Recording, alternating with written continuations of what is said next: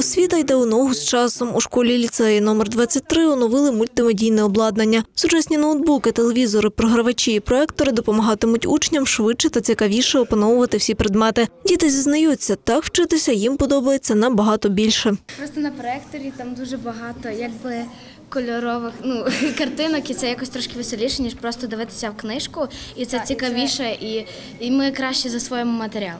Сучасні технічні засоби невід'ємна складова навчального процесу, переконують педагоги, адже їх нині використовують для вивчення більшості предметів у школі. Потрібно вчитель для того, щоб він мав перед собою і інтернет, і щоб показати це у дії, ті чи інші. Чи на уроках біології, чи на уроках історії, чи на фізиці, щоб можна було використати в динаміці, показати, чи навіть дослід. Ну а вчителям іноземної мови для того, щоб прослухати е, запис, ну потрібні так само. Телевізор потрібен, потрібні м, магнітофони. Щоб закупити обладнання, освітяни звернулися до народного депутата України Олександра Шевченка. Він і пролобіював виділення коштів субвенції з державного бюджету на соціально-економічний розвиток окремих територій. Це кошти, які закладені на рівні постанови Кабміну і були виділені цілеспрямовано на те звернення, яке е, поступило в громадську приймальню народного депутата.